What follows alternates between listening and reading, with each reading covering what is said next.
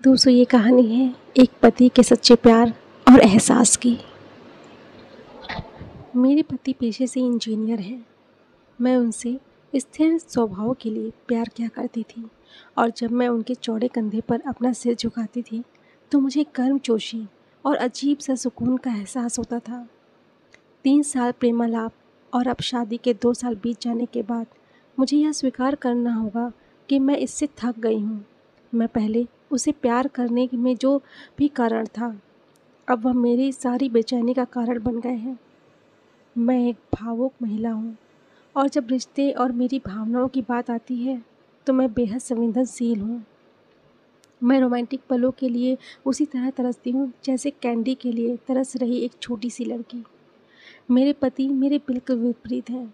उनकी संवेदनशीलता की कमी और हमारी शादी में रोमांटिक पलों को लाने में उनकी असमर्थता ने मुझे प्यार के विषय में निराश कर दिया। एक दिन मैंने आखिरकार उसे अपने मन की बात बताने का फ़ैसला किया कि मुझे तलाक चाहिए और मैंने हिम्मत करके उसे बताया। आखिर को चौंकते हुए उसने पूछा, मैंने कहा मैं थक गई हूँ। दुनिया में हर चीज़ का कोई कारण नहीं होता। मैंने कहा, वह पूरी रात चुप रहा।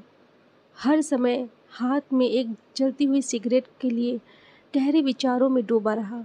इससे मेरी निराशा की भावना और बढ़ती गई, क्योंकि मैं एक ऐसे आदमी को देख रही थी, जो अपनी दुर्दशा को ही व्यक्त नहीं, भी नहीं कर पा रहा है।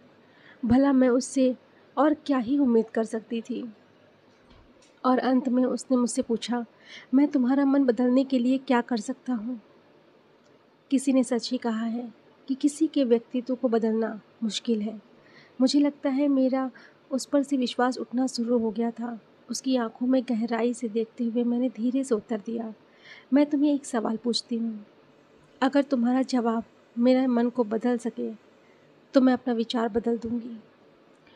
मान लो मुझे एक पेड़ की चट्टान पर खिला एक फूल चाहिए, और हम दोनों को ये पता है कि उस फूल को तोड़ने से तुम्हारी मृत्यु हो जाएगी तो क्या तब भी तुम मेरे लिए ऐसा करोगे? उसने कहा, मैं कल तुम्हें इसका जवाब दूँगा। उसकी इस प्रतिक्रिया को सुनकर मेरी उम्मीदें धराशायी हो गई।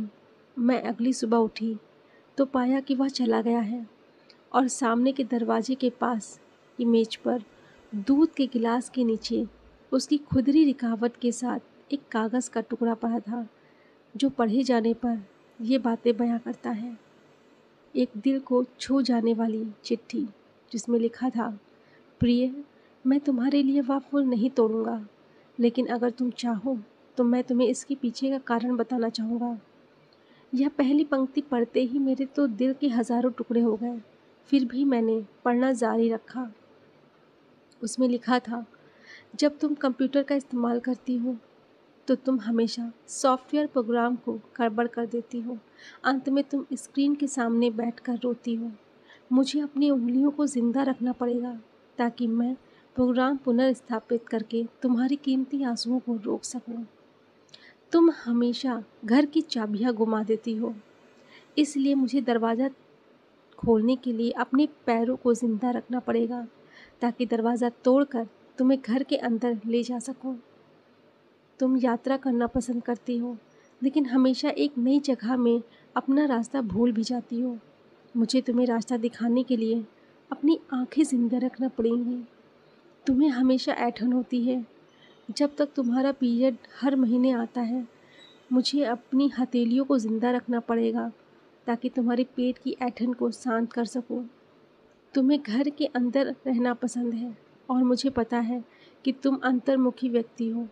तुम्हारी बोरियत को दूर करने के लिए मुझे तुम्हें चुटकुले और कहानियाँ सुनाने के लिए अपने मुँह को ज़िंदा रखना पड़ेगा तुम हमेशा कंप्यूटर और टीवी देखती हो और इससे तुम्हारी आँखों का भविष्य अच्छा नहीं होगा मुझे अपनी आँखों को बचाना होगा ताकि जब हम बूढ़े हों तो मैं तुम्हारी आँखें बन सकूँ। तुम्हारे सिर के सफ़ेद बाल हो रहे तो उन बालों को चुन सकूँ, तुम्हारे नाखूनों को बिना तुम्हें चोट पहुँचाए काट सकूँ। मैं भी समुद्र तट पर तैरते हुए तुम्हारा हाथ पकड़ना चाहता हूँ। जैसे तुम धूप और सुंदर रेत का आनंद लेती हो और खुशी में गाना गुनगुनाती हो मैं उसे अपने कानों से सुनना चाहता हूँ। इसलिए मेरे कान ज़िंदा रहने चाहिए। जब तुम नहा के निकलती हो तो तुम्हारी भीनी भीनी खुशबू को महसूस करने के लिए मेरी नाक को जीवित रहना होगा। इसलिए मेरी प्रिय, जब तक मुझे यकीन नहीं होता कि कोई है जो तुम्हें मुझसे ज़्यादा अधिक प्यार कर सकता है, तब तक मैं उस फूल को नहीं तोड़ूँगा। और जिस दिन ऐसा कोई आया जो मुझसे ज़्यादा तुम्हें प्यार करता हो तो मैं खुशी खुशी उस फूल को तोड़ लूँगा। ये पढ़ते ही मेरे आँखों में आँसू पत्र गिरने लगे और उसकी लिखावट की स्याही धुंधली हो गई। मैंने उसे पढ़ना जारी रखा। अब जब तुमने मेरा उत्तर पूरा पढ़ लिया है, अगर तुम संतुष्ट हो, अगर मैंने तुम्हारे दिल को मना लिया हो तो कृपया सामने के दरवाज़ा खोलो, क्योंकि मैं बाहर खड़ा हूँ, तुम्हारी पसंदीदा ब्रेड और ताज़ा दूध के साथ।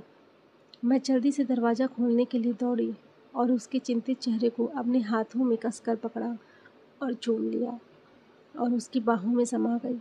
अब मुझे पूरा यकीन हो गया था कि कोई भी मुझसे उतना प्यार नहीं करेगा जितना वह करता है और मैंने फूल को नहीं तोड़ने का फैसला किया। यही जीवन है और यही प्रेम। जब कोई प्यार से घिरा होता है तो उत्तेजना की भावना दूर हो जाती है। और वह उसे सच्चे प्यार को नज़रअंदाज कर देता है, जो शांति और निरस्ता के बीच में होती है। दोस्तों, प्यार सभी रूपों में प्रकट होता है। यहाँ तक कि बहुत छोटे से छोटे सूक्ष्म रूपों में भी। इसका कभी एक मॉडल नहीं होता।